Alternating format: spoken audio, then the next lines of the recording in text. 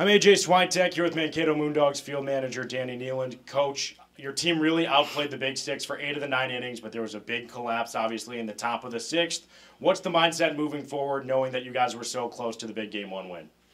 Yeah, I mean, we had one bad inning. Obviously, we gave up seven in the sixth, um, and that's uh, obviously not a good recipe for success. But uh, I think when you look at it in the grand scheme of things, leaving 15 base runners on base um, is also not going to help you out very many times either. So, um, yeah, we gave up one big inning, but we should have had a few big innings ourselves, and we just weren't able to capitalize.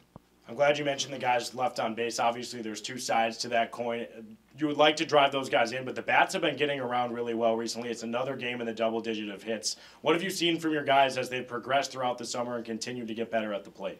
Yeah, we're doing a good job reaching base. Now we just got to find a way to stay on the approach and drive them in. So, um, definitely happy about that. That we're putting pressure on them, but uh, doesn't uh, doesn't bode well if, if we're not able to capitalize. So, um, hopefully, we just uh, find a way to make things happen when we have a chance to do them.